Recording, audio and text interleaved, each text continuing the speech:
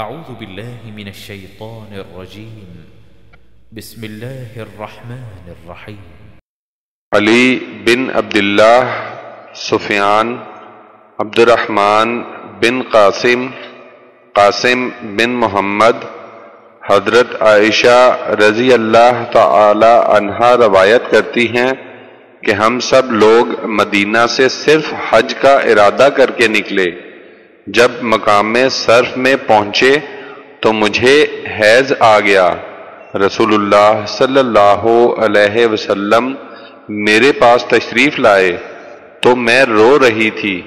آپ صلی اللہ علیہ وسلم نے فرمایا کہ تجھے کیا ہو گیا ہے؟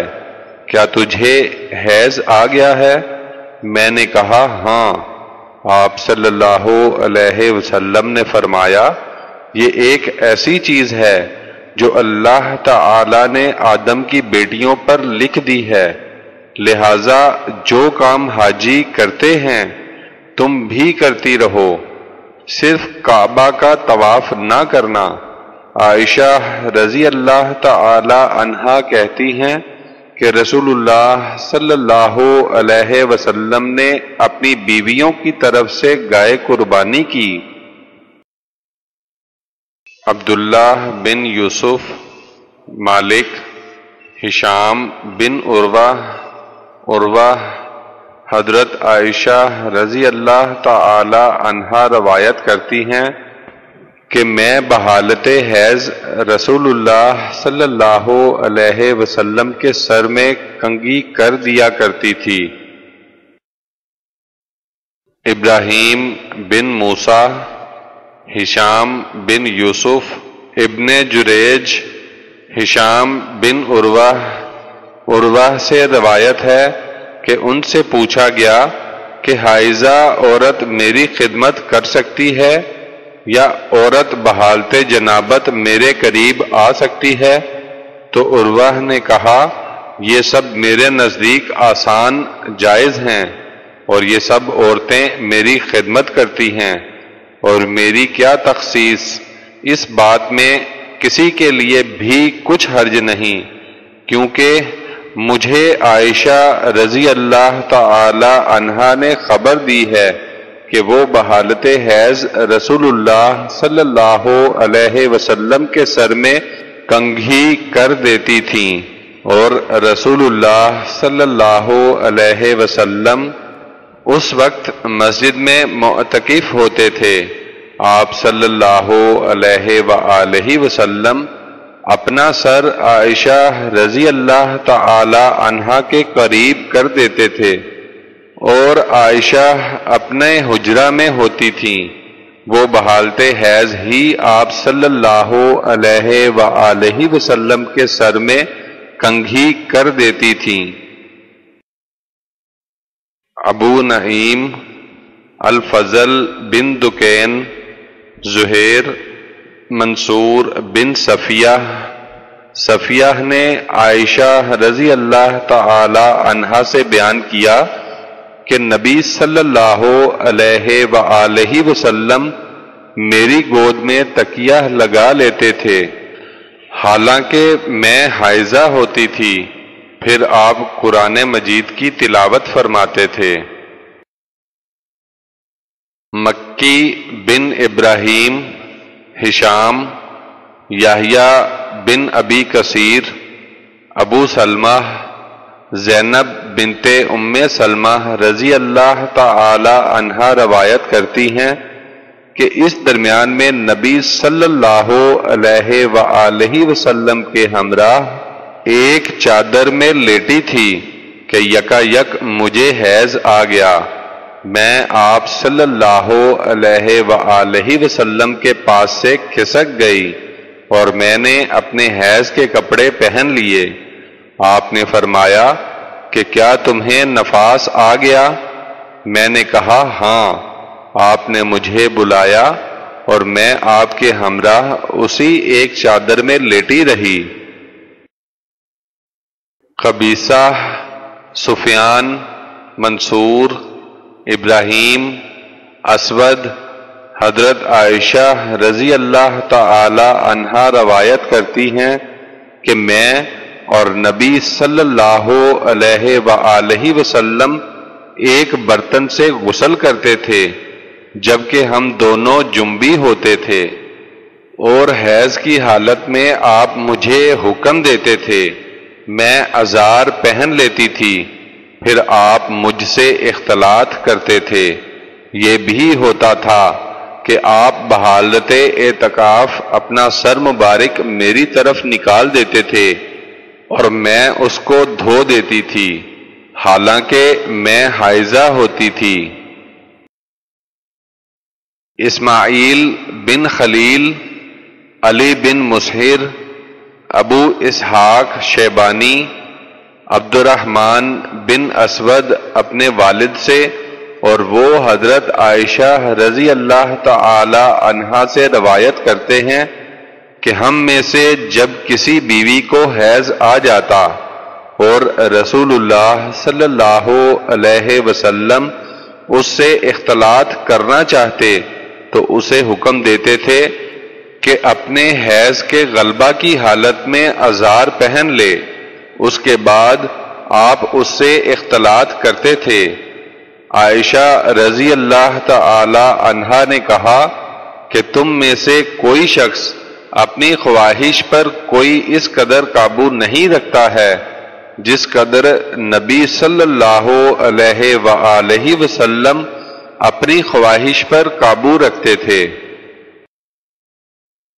ابو نعمان عبد الواحد شبانی، عبداللہ بن شداد، حضرت میمونہ رضی اللہ تعالی عنہا روایت کرتی ہیں کہ رسول اللہ صلی اللہ علیہ وسلم جب اپنی بیویوں میں سے کسی بیوی کے ساتھ اختلاط کرنا چاہتے تو اسے حکم دیتے کہ وہ حالت حیض میں ازار پہن لے۔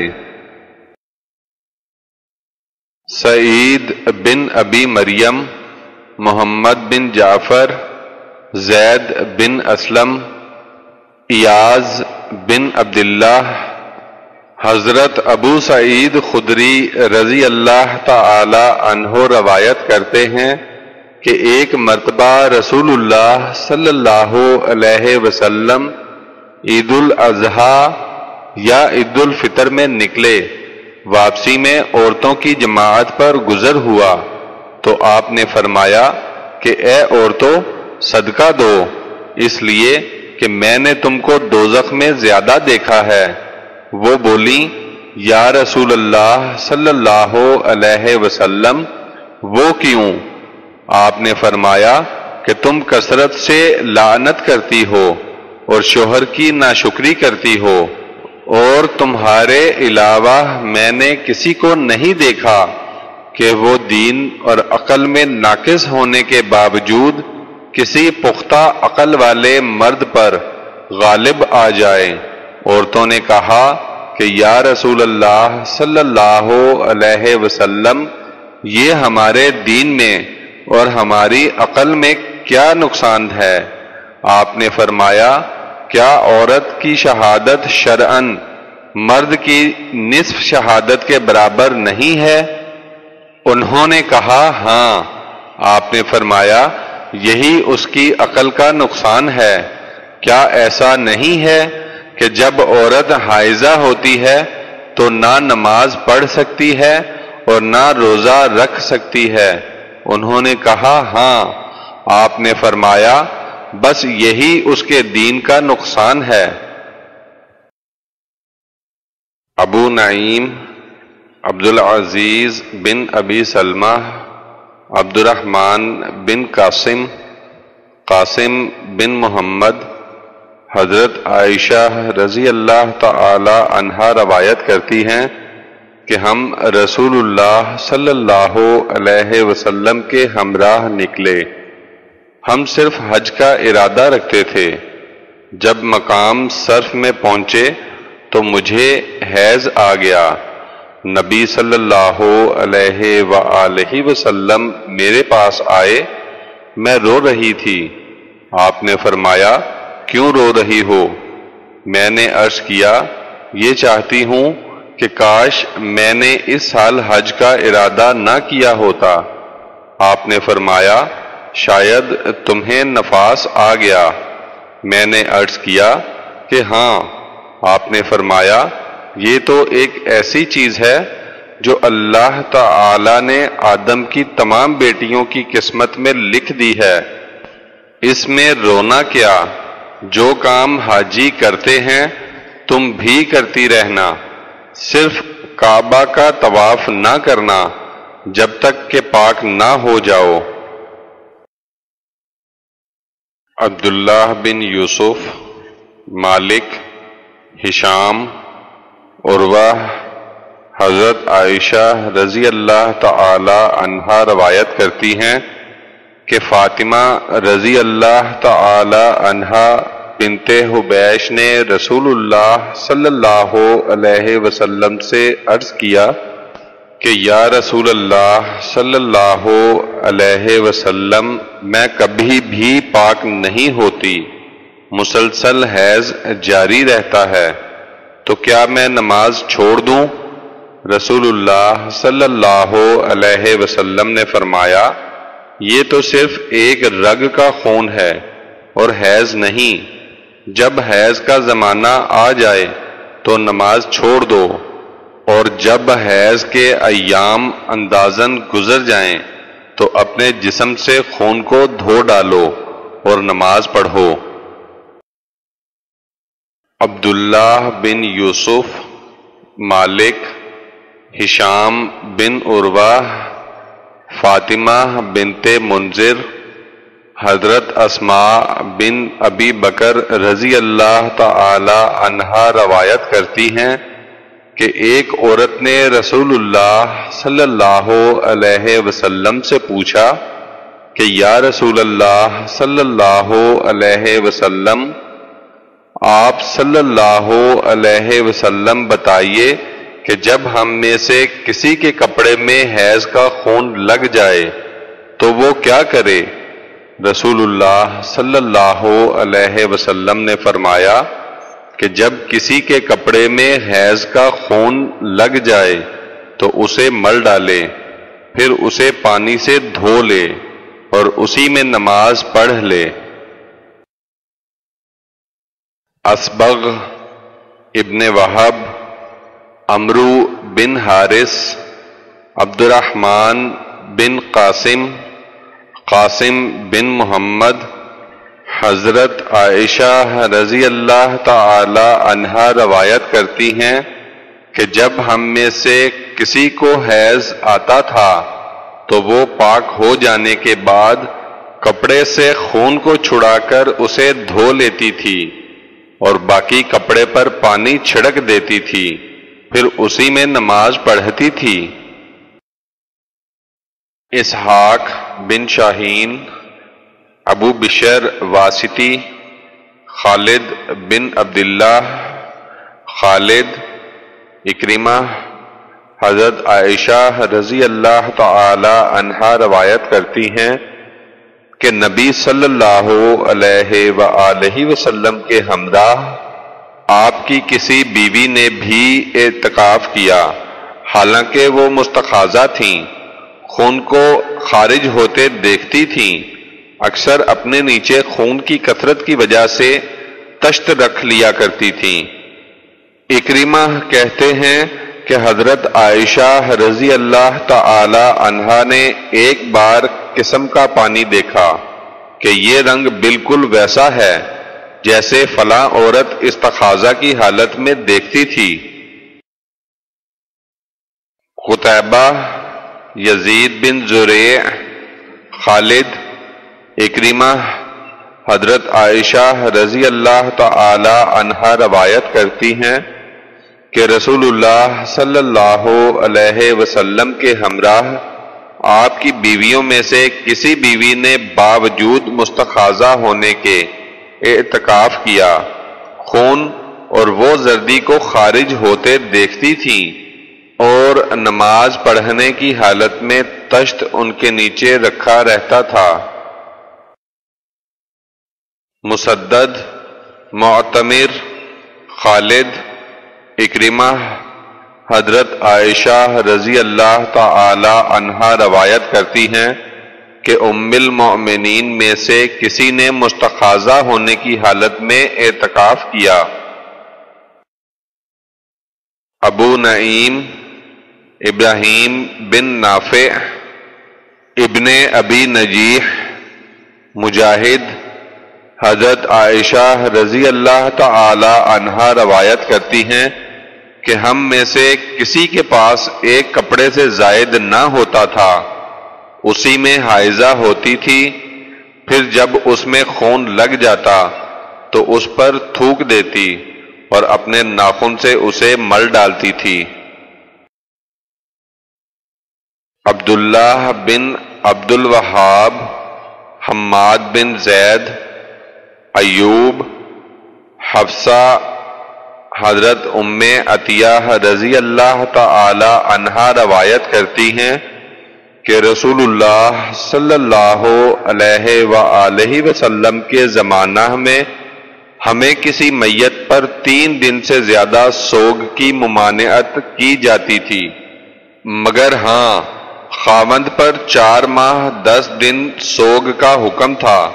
اور ایسی حالت میں نہ ہم سرما لگاتی اور نہ خوشبو لگاتی اور نہ عصب کے علاوہ رنگین کپڑے پہنتی اور جب کوئی ہم میں سے حیض کے بعد پاک ہوتی تو اس کو کستے ازفار خوشبو کی اجازت دی جاتی تھی اور ہمیں جنازوں کے ہمراہ جانے کی ممانعت بھی کر دی گئی تھی۔ یاہیا ابن اینا منصور بن صفیہ صفیہ، حضرت عائشہ رضی اللہ تعالی عنہا سے روایت کرتی ہیں کہ ایک عورت نے نبی صلی اللہ علیہ وآلہ وسلم سے اپنے غسل حیض کے متعلق پوچھا، تو آپ صلی اللہ علیہ وآلہ وسلم نے اسے حکم دیا کہ اس طرح غسل کرے۔ فرمایا کہ ایک ٹکڑا کپڑے کا مشک سے بسا ہوا لے اور اس سے صفائی کر۔ اس نے عرض کیا کہ اس سے کس طرح صفائی کروں؟ آپ نے فرمایا، سبحان اللہ، صفائی کر لے۔ تو میں نے اس عورت کو اپنی طرف کھینچ لیا اور کہا کہ اسے خون کے مقام پر پھیر دے۔ مسلم، وہیب، منصور، صفیہ، حضرت عائشہ رضی اللہ تعالی عنہا روایت کرتی ہیں کہ ایک انصاری عورت نے نبی صلی اللہ علیہ وآلہ وسلم سے کہا کہ میں غسل حیض کس طرح کروں؟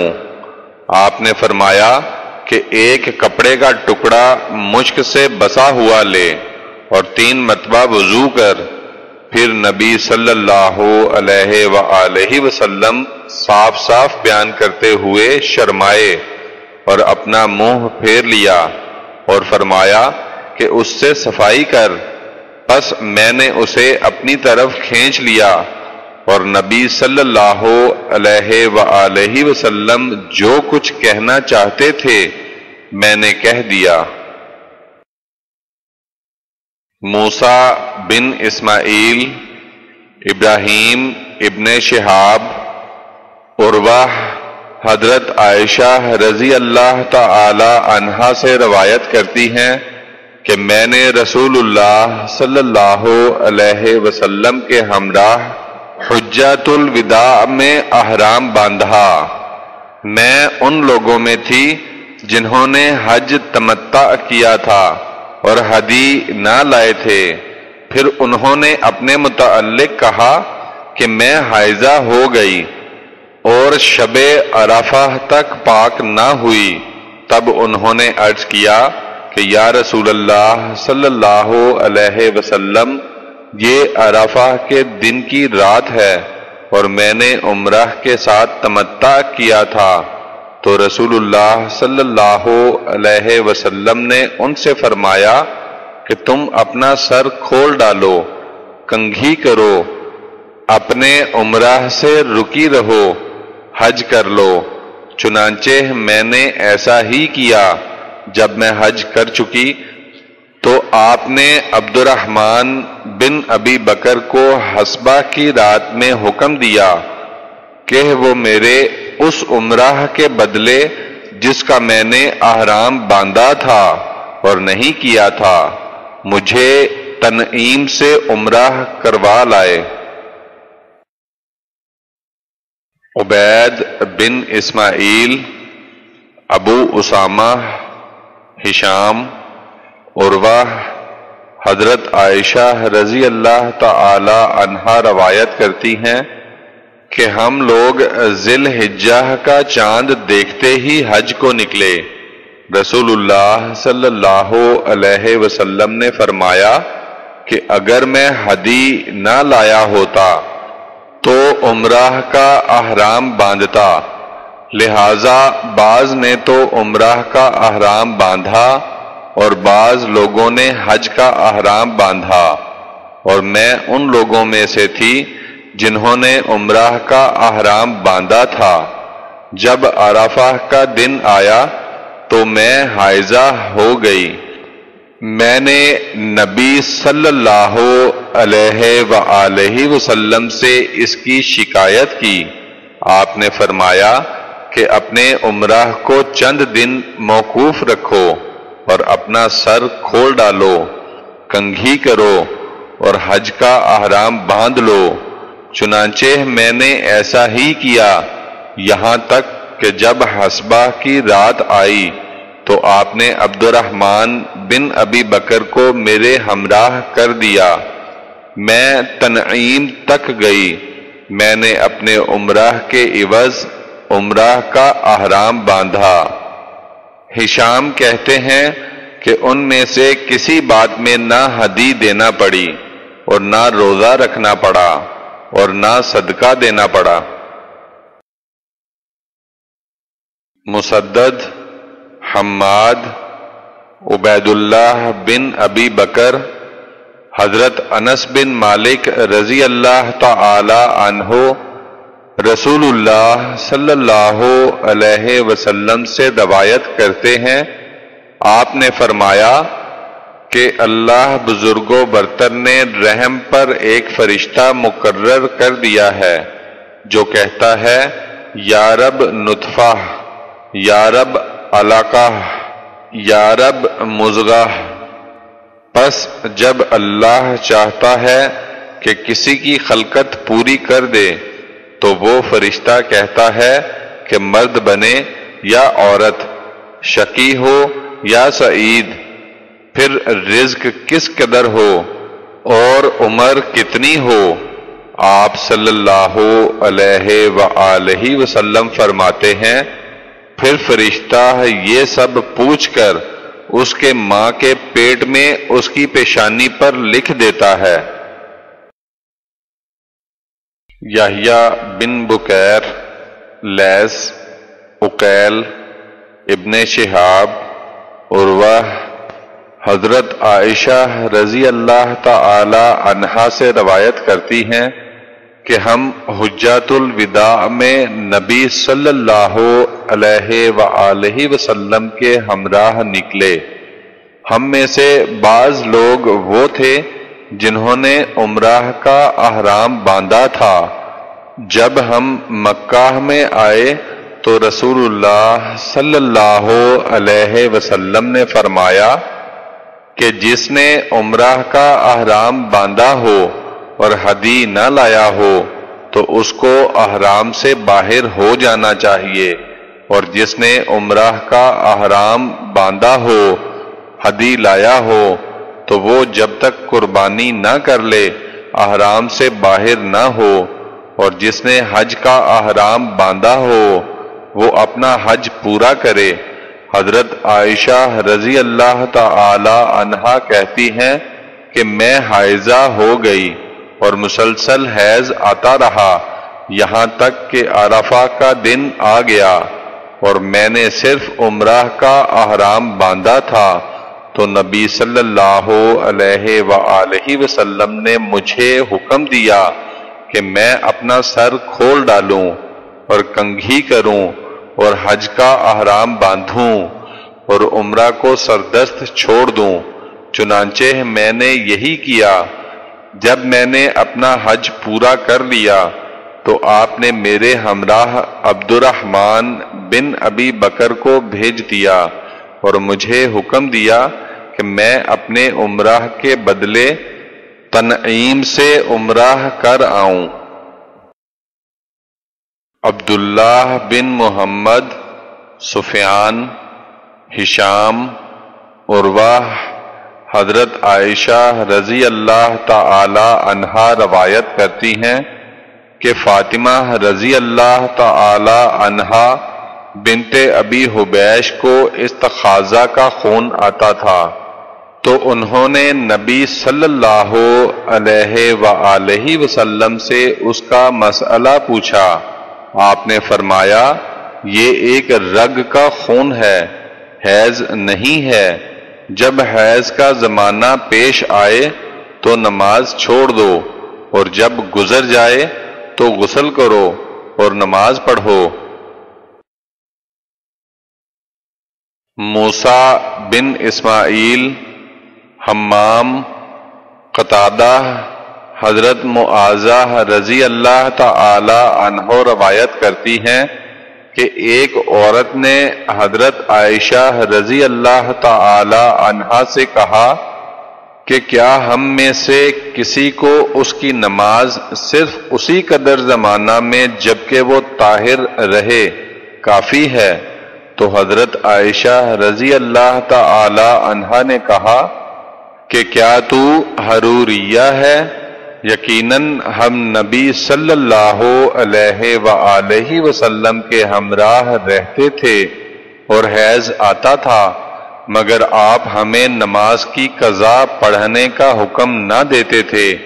یا عائشہ رضی اللہ تعالی عنہا نے یہ کہا کہ ہم قضا نہ پڑھتے تھے۔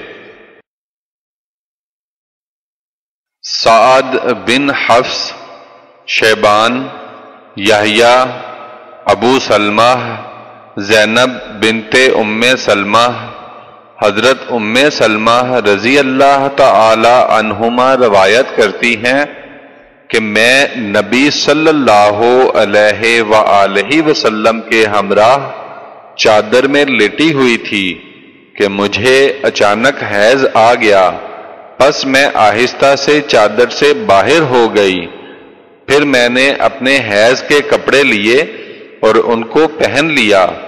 مجھ سے رسول اللہ صلی اللہ علیہ وسلم نے کہا کہ کیا تمہیں نفاس آ گیا؟ میں نے عرض کیا کہ ہاں آپ نے مجھے بلایا اور اپنے پاس چادر کے اندر داخل کر لیا۔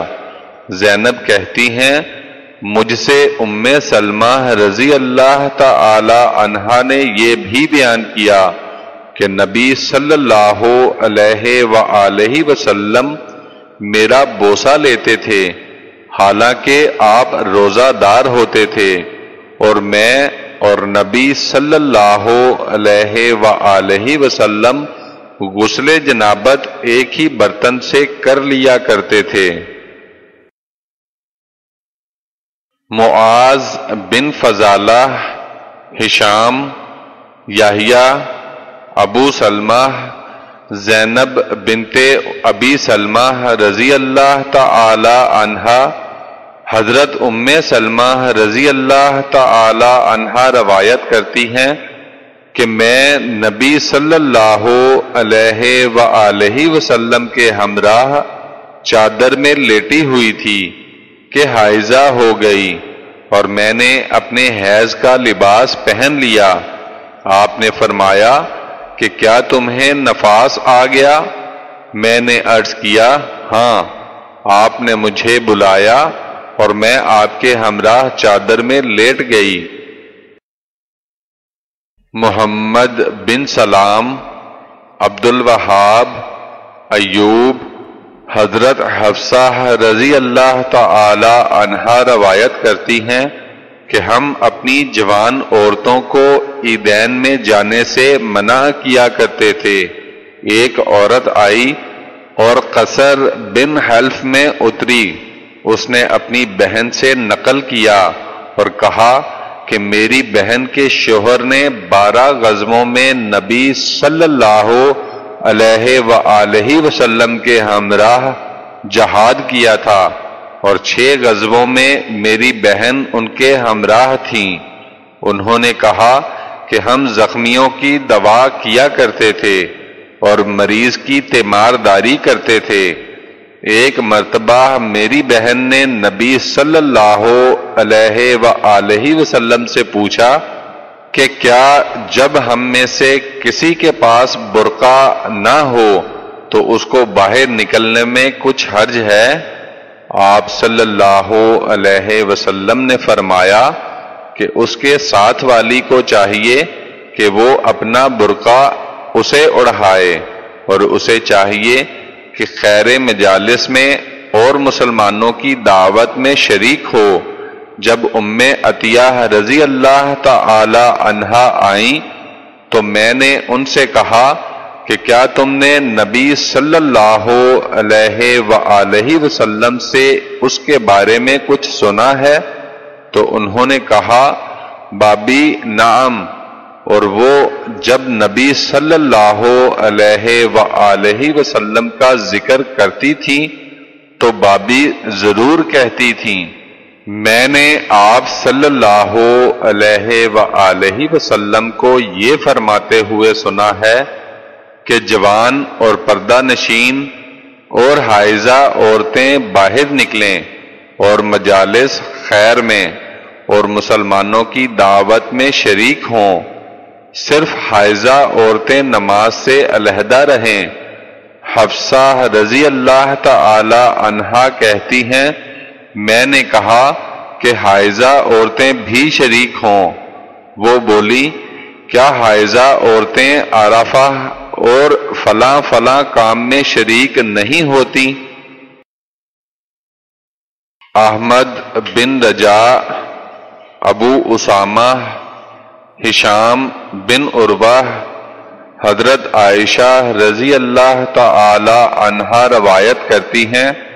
کہ فاطمہ رضی اللہ تعالی عنہا بنت ابی حبیش نے نبی صلی اللہ علیہ و وسلم سے پوچھا کہ مجھے استخاذہ کا خون آتا ہے اور مدتوں تک پاک نہیں ہوتی تو کیا میں نماز چھوڑ دوں؟ آپ نے فرمایا نہیں، یہ ایک رگ کا خون ہے۔ لیکن حیض کے ایام میں نماز چھوڑ دیا کرو۔ پھر جب حیض کا زمانہ عادت کے مطابق گزر جائے تو غسل کرو اور نماز پڑھو۔ قطبہ بن سعید، اسماعیل، ایوب، محمد، حضرت ام عطیہ رضی اللہ تعالی عنہا روایت کرتی ہیں۔ کہ ہم مٹیالہ پن اور زردی کی کچھ نہ سمجھتی تھیں یعنی حیض میں شمار نہ کرتی تھیں۔